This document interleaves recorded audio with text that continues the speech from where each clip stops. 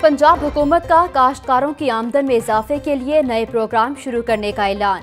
وزیر اعلیٰ پنجاب عثمان بزدار کی زیر صدارت اجلاس، جعلی زرعی ادویات فروغ کرنے والوں کے خلاف بلا امتیاز کارروائی کی ہدایت۔ وزیر اعلیٰ کا کہنا ہے کہ حکومت کاشتکاروں کے مفادات کا تحفظ ہر صورت یقینی بنائے گی۔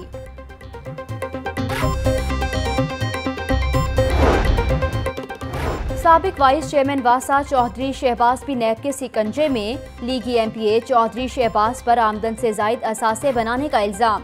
نیب نے تحقیقات کا آغاز کر دیا۔ ڈی سی لاہور کو خط۔ چودھری شہباز کے نام جائیدادوں کا ریکارڈ مانگ لیا۔ اور دو بڑی سیاسی جماعتیں پھر سے قریب آنے لگیں۔ بلاول نواز کی جیل میں کل ہونے والی ملاقات پر سیاسی ہلچل۔ چیئرمین پیپلز پارٹی نے مشاورت کے لیے پارلیمانی پارٹی کا اجلاس طلب کر لیا۔ سابق صدر آصف علی زرداری کے بھی لاہور میں ڈیرے۔